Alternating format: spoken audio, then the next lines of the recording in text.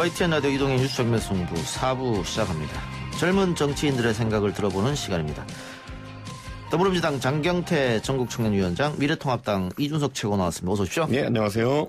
장경태 위원장은 한창 지금 달려오고 있네요. 일단 이준석 최고하고 먼저 이야기를 좀 해보죠. 네. 비상 걸렸네요? 왜요, 왜요? 아닙니까? 아, 선거 자체가 비상이죠. 아 근데 언론에 무슨 노원 병이 없어진다 이렇게 돼가지고 제 지역구가 없어진다 이렇게 나왔는데 예. 원래 밑에서부터 이제 남쪽부터 가불병이에요. 예. 그러니까 을이 찢어져가지고 위아래로 합쳐지는 거라 가지고 예. 가장 난리 났던 거는 우원식 의원이죠. 근데 어쨌든 세 개 지역구가 두 개가 됐지 않습니까? 그러면 당내 경쟁부터 새로 해야 되는 거잖아요. 저는 안 그렇습니다 지금. 그래요? 네, 저는 공천받은 노원병에서 예. 그대로 노원을로 갈 거로 보입니다. 갈 걸로 보입니까? 제가 뭐 그걸 확답으로 하면은 그건 또 다른 스캔들이기 때문에 예. 예, 그렇게 그냥 대충 그 뭐, 그, 국민의당 있었던 이동섭 의원이 원한다 뭐 이런 얘기도 있던데. 있죠. 네. 네. 이동섭 의원님이 뭐 지금 또 선거구 획정위 안에 지금 이제 반발해가지고 원안이 유지된다는 얘기도 있기 때문에 네. 그렇게 되면은 아마 노원 의뢰에 예. 출마하실 거고 아니면 뭐 좀 지역구로 옮기시지 않을까 생각합니다. 이거 인구 문제 때문에 이렇게 된 거 아닙니까? 선거구 획정 문제가? 근데 어쨌든 그 지역 주민 입장에서는 예. 그 인구가 이제 65만에서 53만까지 준 거거든요. 그럼 그거 자체가 제 생각에는 그 지금까지 집권했던 분들의 실정입니다. 음. 아니 어떤 지역에서 인구가 20% 가까이 떠난다는 거는 뭐 2001년부터 상당히 오래된 기간이겠지만은 예. 계속 만 명씩 줄었다는 거거든요. 예. 이건 지금까지 집권하셨던 분들이 책임져야죠. 음. 그래서 지금 민주당도 비상인 게 노원 가을병이 다 민주당이 석권했던 네. 지역이잖아요. 예. 그 현역 의원이 3명이란 말이죠. 예. 한 명은 아홉 대 수밖에 없는 상황. 뭐 저는 뭐 세 분 다 선거에서 예. 뭐 어떤 결과를 받아들일지 모르겠지만은 예. 경선 단계에서 아니면 공천 단계에서 한 분은 벌써 접어야 되는 상황입니다. 그렇기 때문에 네 분이 좀 있긴 있겠죠. 음. 그 누가 와도 자신 있습니까? 저는 뭐 그게 그겁니다. 이게 어차피 선거라는 게 구도가 원래 그 고공형이냐 아니면은 그 사실 지상전이냐 이거 약간 차이가 나거든요. 예. 근데 뭐 저는 고공전하고 지상전 다 하긴 하지만 그래도 고공전에 특화된 부분이 있기 때문에 이 후보 상대 후보와 크게 관계가 없습니다. 예. 어, 홍준표 전 대표는 컷오프 됐네요. 뭐 제가 지도부로서 조심스럽게 말하고 싶긴 하지만은 예. 뭐 본인이 받아들인 길입니다. 그거는 제가 봤을 때. 음. 그러니까 재배치 요구라는 것이 이런 것이 있었는데 이런 거잖아요. 미랑 그쪽에서 창녕 이쪽에서 재배치를 요구받았을 때 보통 재배치 요구는 수도권에 험지로 올라오는 얘기예요. 예. 그런데 듣는 듯 많은 듯 양산에 가겠다 이렇게 했거든요. 예. 아무리 김두관 지사가 거기에 이제 영향력 있는 인물이고 음. 그분을 상대하는 것이 중요하다 하더라도 애초에 공관위가 전술을 짜면서 의도적으로 이제 수도권 험지 출마를 요구했었는데 안 들었던 거잖아요. 예. 그러니까 저는 그 부분은 홍준표 대표가 선택한 길이고 아마 이제 뭐 무소속 출마하겠다부터 해서 본인도 기획된 수순이 있을 겁니다. 음.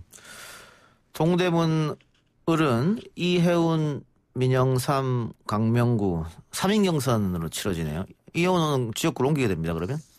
이혜훈 의원님 같은 경우에는 뭐 사실 지난번 서초 갑에서 이제 사실 공천 배제된 뒤에도 크게 별 말씀은 안 하셨거든요. 예. 그건 왜냐하면은 뭐 본인도 서초 갑에서 세 번 이제 공천을 받았었기 때문에 사실 네 번째 받는 것에 대해서 또 부정적으로 보는 시선도 있었어요. 음. 뭐 그런 부분은 이혜훈 의원도 이해하고 계셨고 무엇보다 윤상현 의원과 같이 이제 공천 배제가 되면서 그게 뭐 사실 균형 맞춘다는 의도 이런 것도 있었지 이혜훈 의원 개인에 대한 어떤 능력치나 아니면 어떤 구설수에 오른다 이런 걸 문제 삼은 게 아니거든요. 예. 그러니까 저는 그 부분에 대해서 이혜훈 의원이 쿨, 쿨하게 받아들여졌기 때문에 지금 이제 이런 경선의 기회가 왔다고 봅니다. 박 전 대통령이 옥중 메시지를 보냈는데 이 부분에 대해서는 어떻게 평가하고 계십니까? 이게 무슨 타이밍에 무슨 의도일까라는 것. 그러니까 박근혜 대통령이 선거의 여왕이라 불렸던 것은 예.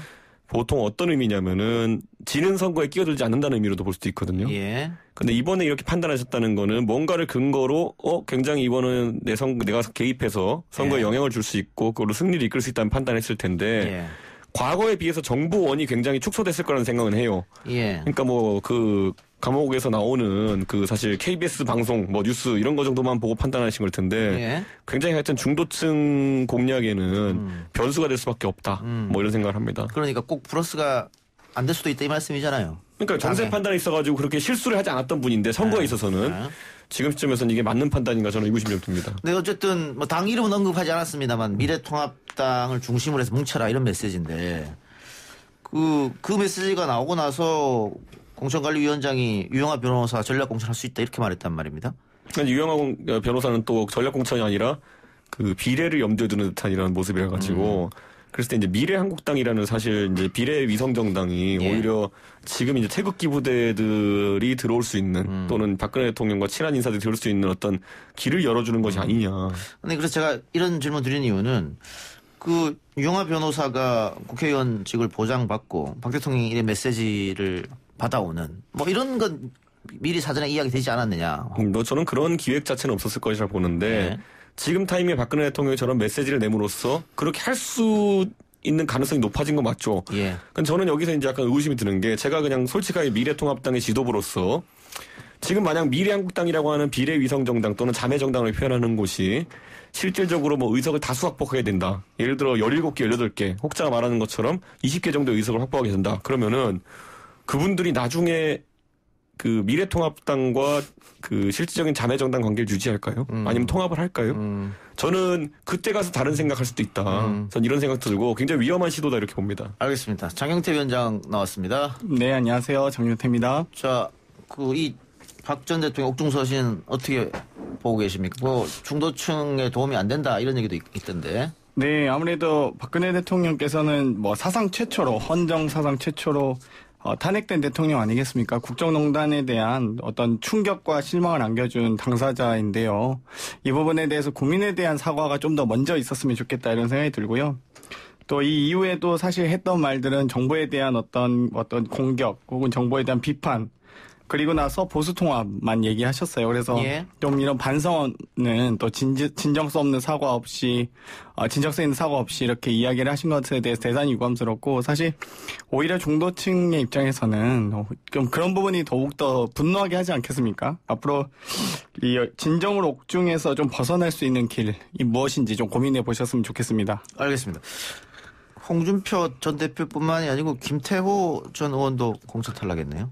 네, 이 컷오프. 반발이 좀 있을 것 같기도 합니다. 네. 저는 근데 그 반발의 성격이라는 것이 굉장히 뭐 지금 친박 정당의 가능성이 사라졌거든요. 그러니까 무슨 말이냐면 원래 친박 연대나 친박 무소연대 같은 게 나오면은 그게 이제 파괴력 있는 것인데 어쨌든 별도 정당의 가능성이 낮아진 상황 속에서 개개인의 무소속 출마까지는 할 수 있겠지만은 그 이상의 어쨌든 반발이 쉽지 않을 거라고 봅니다. 예. 자, 지금 컷오프 얘기를 하고 있습니다만은 음, 동대문 의뢰 민병두 의원이 컷오프 됐습니다. 장영태 위원장이 여기에 준비하고 있었잖아요. 경, 경선을 아마 준비하고 있었을 건데 네. 민경두 의원이 컷오프 되면 어떤- 장영태 의원이 나가는 겁니까? 일단 오늘 공간위에서 어, 이 청년 우선 전략 지역을 선정했고요. 또 다른 지역에 대해서는 뭐 예를 들면 분구가 예상되는 춘천이라든지 안산 혹은 뭐 분군 합구 지역 순천 같은 곳들이 전략 지역으로 선정됐는데 어찌됐건 이제 뭐 동대문 의리라든지 강남 병, 안산 단원 을 같은 경우는 청년 우선 전략 지역으로 선정이 됐다, 됐기 때문에 아무래도 청년들을 우선적으로 저- 공천을 하겠다라는 당의 어떤 의지와 앞으로 이제 국민을 닮은 국회를 만들기 위한 어떤 국민들의 요구들을 반영한 선, 어, 선정이라고 생각을 하고요. 아마도 이제 저도 이제 뭐 경선이든 어떤 당의 명령에 맞춰서 또 어, 총선 승리를 위해서 열심히 뛰어야 되는 후보의 한 사람으로서 어떤 결정이든지 잘 기다리고 있습니다. 아니 이제 경선 가능성은 없는 거 아니에요?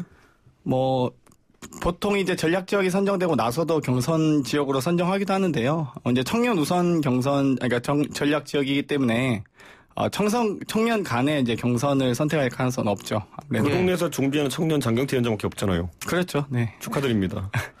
그 아직 김- 이릅니다. 네. 김남국 변호사가 전략 공천 될 수도 있다는 이야기도 들리던데요. 뭐 그 언론에서 자- 일각에서 지금 얘기를 하고 있는데 어찌되건 지금 김남국 변호사가 강서갑의 전략 그 공천 신청을 하고 나서 어, 지역구를 조정하는 과정에서 지금 지역구를 좀 찾고 있는 상황이긴 합니다. 그런데 이제 동대문 을의 이제 연고라든지 그런 가능성은 매우 낮고요. 아마 지금 이제 강남 병이라든지 안산 쪽도 이야기가 나오는 것 같습니다. 민병두 의원이 지역을 굉장히 잘 다지는 걸로 유명한 분인데 뭐 한때 미투 사건 좀 시끄러웠죠. 그것 때문에 컷오프 된 것 같은데 민병두 의원이 무소속으로 나온다면 어떻게 할 겁니까? 네, 민명도 의원님께서는 워낙 이제 당성도 높으시고 정체성이나 기여도도 높으신 분이기 때문에 또 훌륭한 의정 활동을 보여주셨던 분이거든요. 그렇기 때문에 아마 무소속으로 하시기보다는 오히려 문재인 정부의 성공적인 국정 운영을 위해서 또 더 큰 일을 하시지 않을까 이렇게 예상하고 있습니다. 네. 근데 청년 뭐 전략 공천 이야기했습니다만 지금 민주당에서 도전한 청년들 대부분이 컷오프되거나 경선 탈락했거든요. 뭐 대부분은 아닌데요. 예를 들면 현재 지금 저희가 공간위에 공천 신청하신 청년들이 28명 정도 됐고요.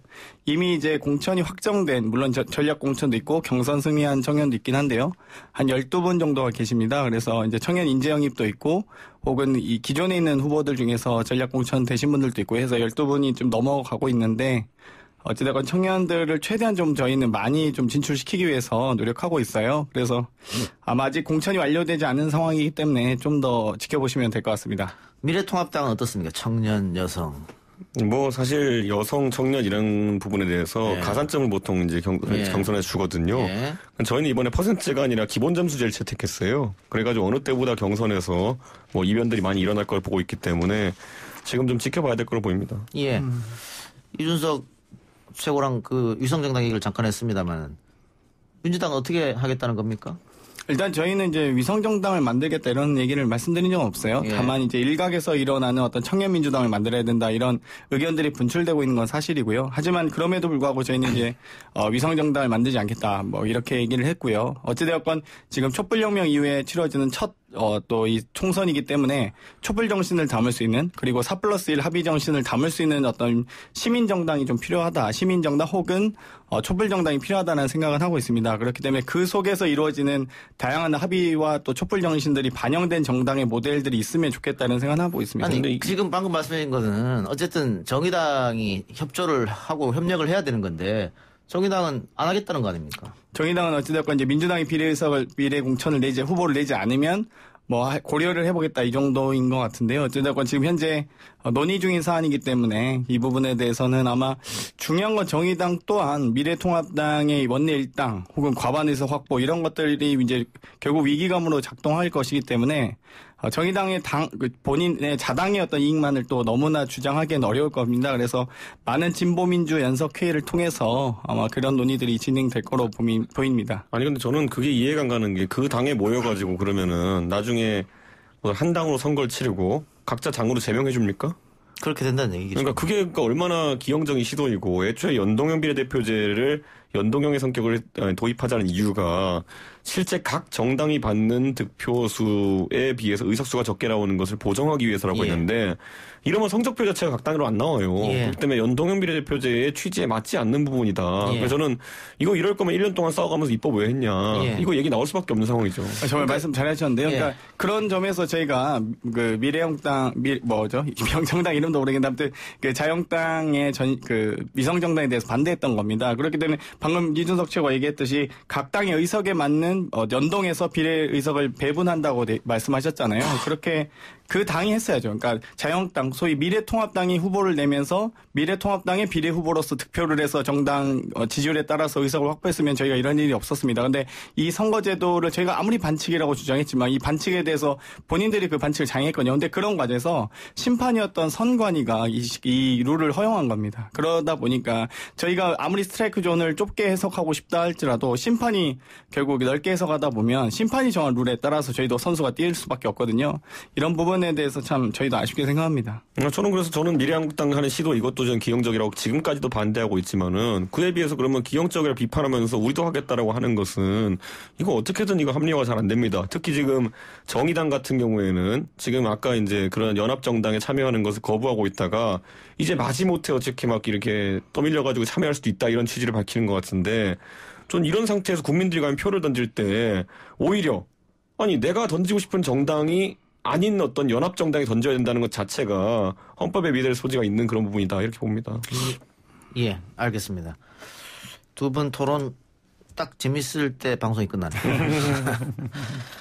네, 어, 저희는 또 다음 주 시간이 있으니까요. 만납시다. 두분 오늘 말씀 고맙습니다. 예, 네, 감사합니다. 예, 지금까지 더불어민주당 장경태 전국청년위원장 미래통합당 이준석 최고였습니다. 오늘 저희가 준비한 방송은 여기까지고요. 저는 내일 이 시간 다시 돌아오겠습니다. 들어주신 여러분 대단히 고맙습니다.